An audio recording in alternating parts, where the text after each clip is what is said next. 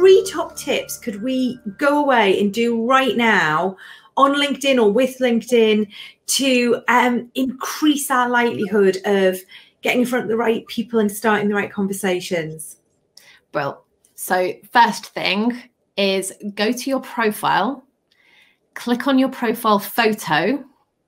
At the bottom, there should be a little eyeball icon.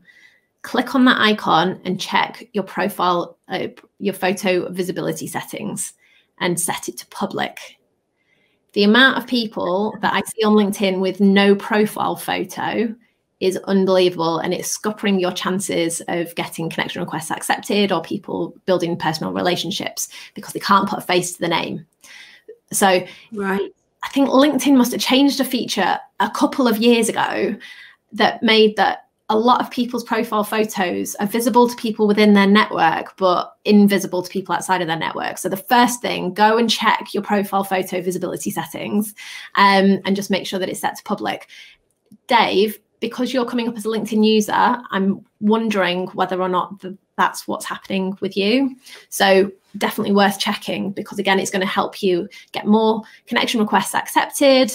It's going to help you get more interaction with your posts and it's going to help you get in front of a wider audience. So that's number one.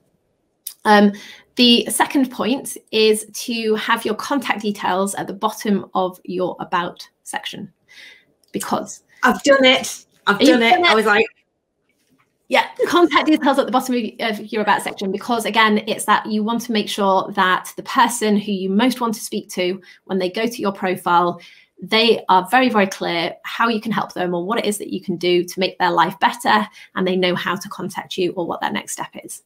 That is point number two. And then point number three is I want you to grab your invisible curiosity hat and I want you to wear it every time you go on LinkedIn.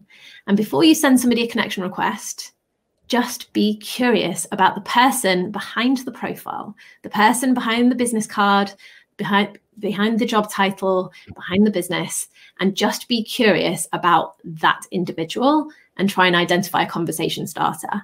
Because that way, again, you're going to get more of your connection requests accepted, you're going to start more meaningful conversations, and it's going to help you build more of a personal relationship and work towards getting more sales. So those are my uh, my three.